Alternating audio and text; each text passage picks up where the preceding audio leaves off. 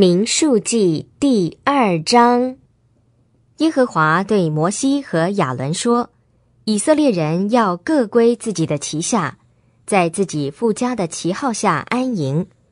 他们要在会幕四周稍远的地方安营。在东方向着日出之地，按着队伍安营的是犹大营的旗号。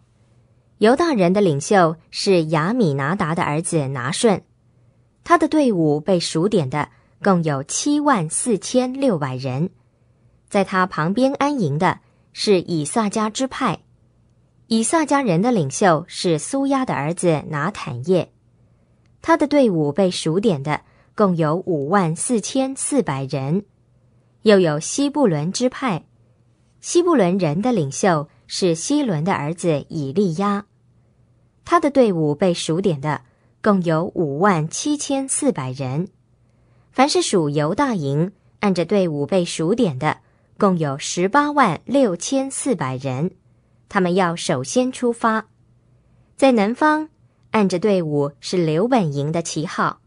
刘本人的领袖是士丢尔的儿子以利素，他的队伍被数点的共有四万六千五百人。在他旁边安营的是西缅支派。西缅人的领袖是苏利沙代的儿子示路灭，他的队伍被数点的共有五万九千三百人。又有加德之派，加德人的领袖是丢尔的儿子以利亚撒，他的队伍被数点的共有四万五千六百五十人。凡是属刘本营，按着队伍被数点的共有十五万一千四百五十人，他们要做第二队起行。会幕和立位人的营要在众营中间前行，他们怎样安营，就怎样出发前行，各按本位，各归本旗。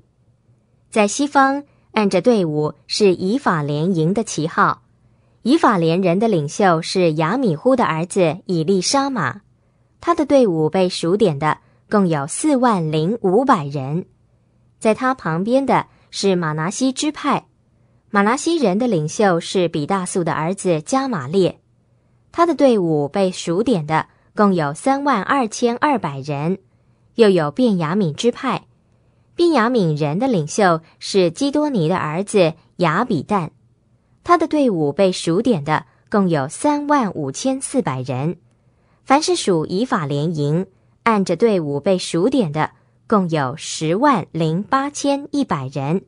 他们要做第三队起行，在北方按着队伍是旦营的旗号。